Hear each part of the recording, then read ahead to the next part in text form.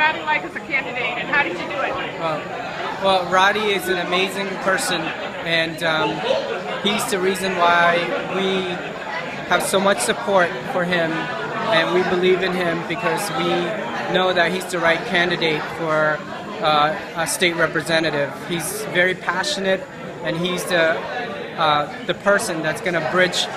Um, he's going to be the person that bridged the two culture, um, and he's going to pave the road between City of Lowell and Beacon Hill. And um, we're just so proud of him. And this campaign is not about him, but it's about his belief and his willingness to listen, learn, and lead. And uh, he loves the City of Lowell. He's a longtime resident here, and his family's here, and uh, that's why he's sacrificing his uh, time, energy to make Lowell a better place.